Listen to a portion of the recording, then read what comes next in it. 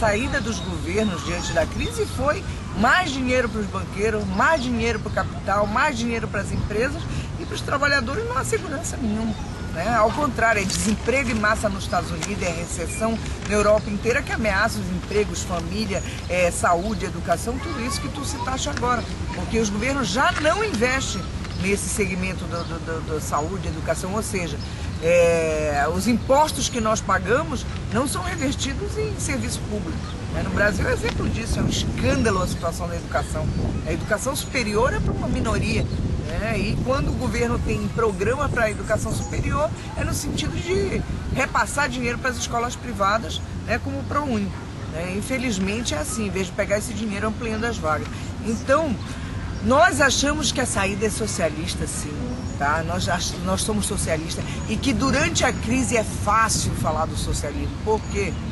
Porque nós agora temos que atacar o capital. Nós temos que mostrar para a população que está sentindo na pele o que é o capital. É um curso de, de como é que funciona a sociedade. É um curso, a crise econômica é um curso do que é o Estado burguês. Porque esse repassa é um verdadeiro é, oleoduto de dinheiro né? onde você passa, repassa dinheiro direto do Estado né, para as grandes empresas, né, como está acontecendo. Tem muitas lutas, além da repressão aos movimentos sociais, que já foi uma pauta, uma bandeira muito forte da, do, dos, do movimento estudantil durante o ano de 2008.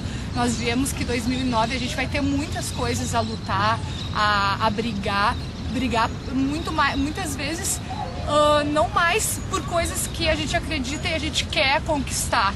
Porque a crise econômica vai nos fazer, muitas vezes, ter, ter que brigar por, por manter direitos conquistados, né? Infelizmente, a gente vai ter que pautar muitas questões de manutenção. Pegar o exemplo dos da Grécia, né, dos, do movimento estudantil grego, onde os jovens são os protagonistas e lá estão botando um dedo na ferida, brigando e batendo, batendo pé e dizendo que, que seus direitos têm que ser garantidos e, e, a, e, a, e, o, e o mundo pode ser melhor. Chega de corrupção, de mentira sem explicação. É um estado de pernas pro ar, não dá pra continuar. Chega de.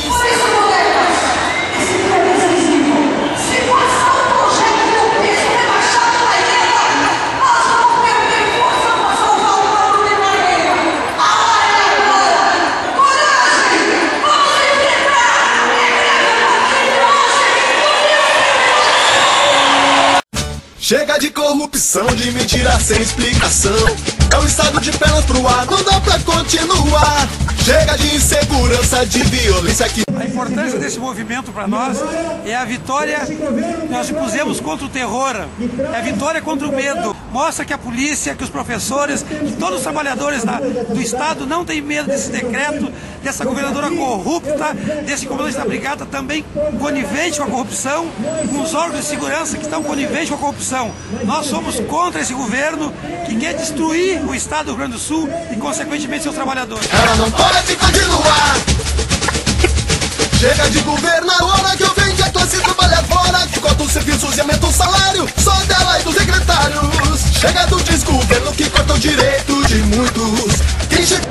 tua avaliação da, do começo da marcha?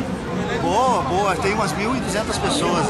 O pessoal do interior veio bastante, Porto Alegre paralisou quase 100% para vir para a marcha.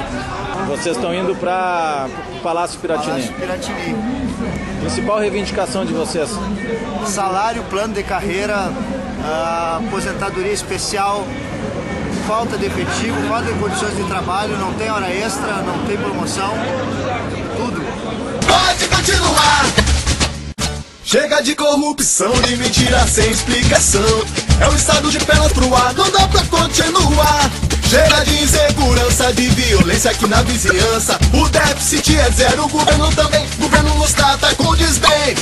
Chega dessa economia que tira dinheiro de quem mais precisa. Não dá aumento pra educação, mas planeja comprar um avião. Vem com a gente cantar, vem com a gente lutar, vem com a gente gritar. Fora Ieda!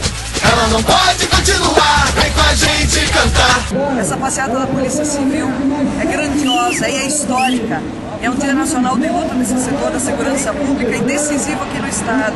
E acontece no momento de uma forte greve da educação, foi deflagrada agora na sexta-feira, dia 16, e já fez com que a governadora retirasse o regime de urgência do projeto do piso. Nós temos confiança de que a união da educação com a segurança e outro setor do serviço público vai conseguir vitórias, vai conseguir conquista, vai derrotar os projetos de ataque aos direitos, como as carreiras, o salário dos servidores, vai impor derrota desse governo corrupto que só reajusta o salário da governadora e do seu secretário. Sou Berna Menezes, coordenadora geral da SUV, entidade dos técnicos da universidade. Infelizmente, nós estamos entrando num sindicalismo que é esse. É o gangsterismo nos sindicatos, com seguranças. Né? Esse final de semana em São Paulo, o Sindisprev também, a CUT tentou romper o congresso do Sindisprev, tentando construir outra entidade paralela. Aqui é igual, o presidente do ANDES, os diretores do ANDES não podem entrar. Né? Nós, entidades técnicas, queríamos acompanhar como observadores para servir de testemunha né? para uma Assembleia que é escandalosa, que é com, com representação por procuração. Presidente da DURGS né, proibiu de entrar para que sejam admitidas as procurações. Portanto, ali a diretoria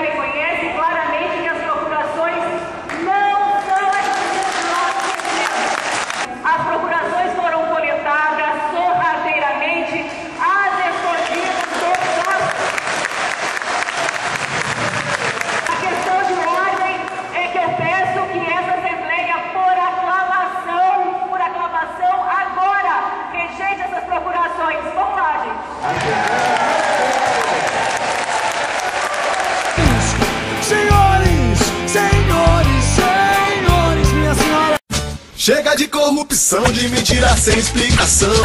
É um estado de pernas pro ar, não dá pra continuar. Chega de insegurança, de violência aqui na vizinhança. O déficit é zero, o governo também. Governo mostrada com desdém. Chega dessa economia que tira dinheiro de quem. O fundamental, a greve foi decisiva para implantar com força a defesa do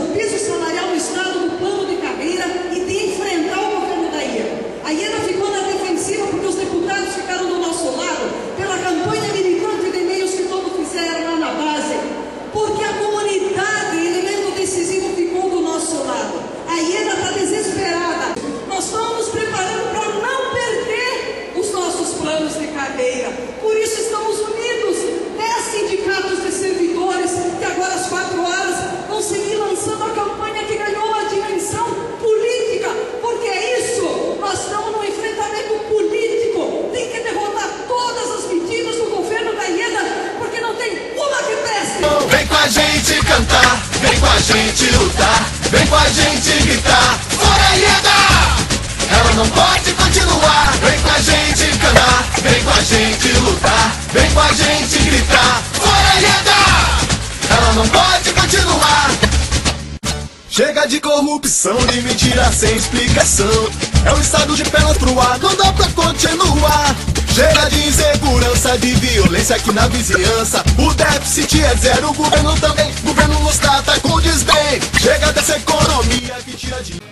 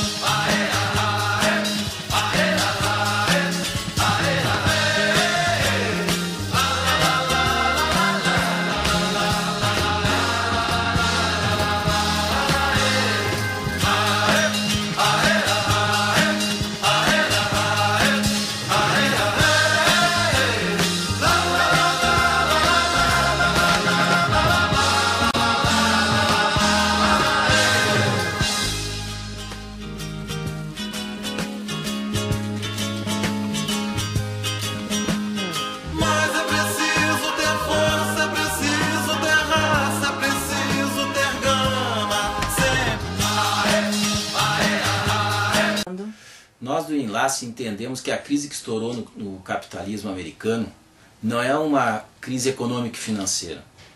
É uma, um somatório de problemas criado pelo próprio modo de produção capitalista que transforma tudo em mercadoria, devastando a natureza, esgotando os recursos naturais e jogando milhões de pessoas na miséria e na fome. Nós vivemos um período ímpar, uma fase de transição, uma crise de civilização.